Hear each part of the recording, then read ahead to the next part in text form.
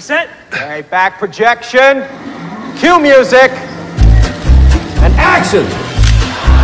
Hollywood legends Mr. Stan Laurel and Oliver Hardy arrived in Britain today as they embarked on a national tour.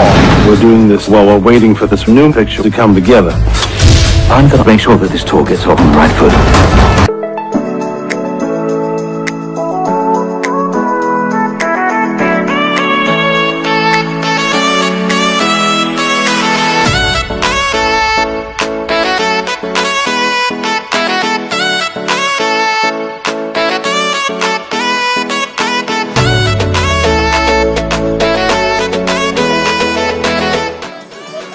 John, same, same, same question to both of you.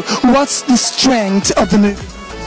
The strength of the movie, I think, is its vulnerability. Uh, we show Laurel and Hardy.